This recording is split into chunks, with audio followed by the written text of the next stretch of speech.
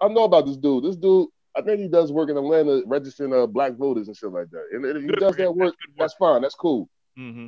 Get the fuck out of here with this other shit, dog. Get the fuck out. Like, please register more black men to vote. Go ahead, bro. Please. Like, Yeah, what, please what are you do talking about, Yeah, bro? yeah. Yeah, and about? Work. but yeah, Well- they well single done, white Mondale female Robinson. us for real. Mm-hmm. Yeah.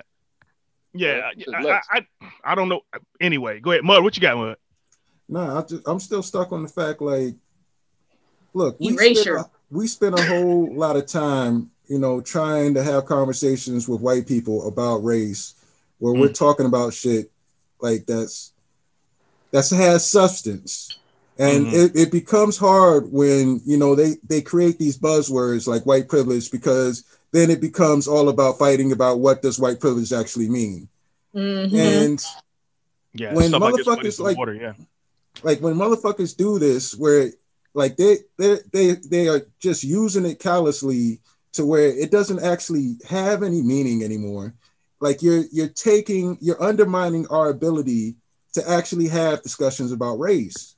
Like you're really fucking it up for the rest of us. And fucking it up for what? What are we getting out of this conversation like we're not getting anything by protecting these people by saying this white privilege to if you criticize them no, motherfucker, they're not doing anything for us, anyways. Yes, it's mm-hmm. white privilege if you say anything negative. It's white privilege if you say anything negative about a black or brown person.